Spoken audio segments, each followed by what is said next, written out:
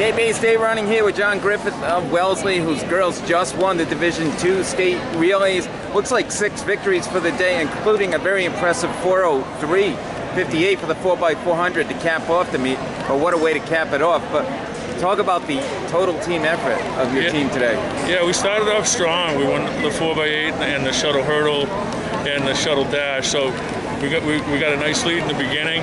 Uh, we held on in the middle and, and, and closed it out with the 4x4, running a great time as you mentioned. But I got to take uh, North, North Andover gave us everything we could handle today. We were only up three points going into the 4x4, and um, we were able to, to pull away late and, and, and solidify the victory. So there's some great teams here, and uh, we always love coming to this meet. Uh, we circle it on our calendar every year, and we have a lot of fun.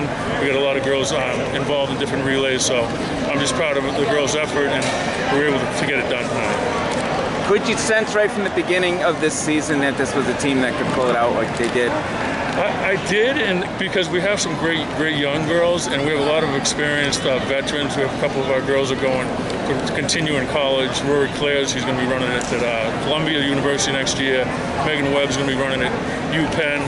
We have we have some great freshmen uh, that, have, that have really stepped up in, in all events. So we, we have a nice mix of, of underclassmen and upperclassmen, and with our seniors' leadership is tremendous.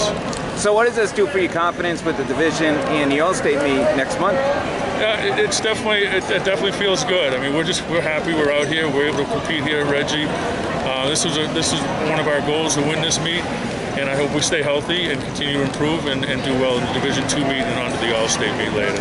Well, Coach, congratulations on a great team win and good luck next month. But great job today. Appreciate it. Thank you.